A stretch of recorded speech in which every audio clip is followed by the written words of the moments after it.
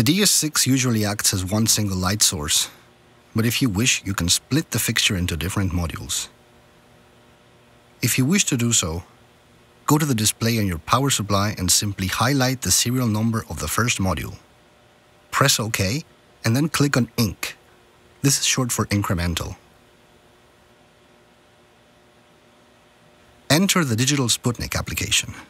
Create a new group and put all of your modules in there.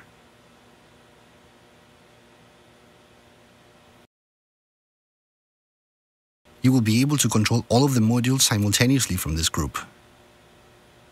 Then, for instance, you can create a group for the left column of lights and add modules 0, 1, and 2 in there.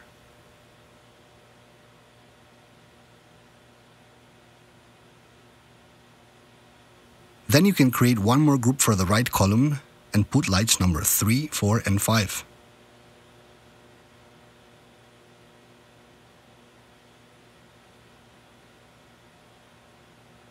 And that is it. That is how to split your fixture into multiple channels.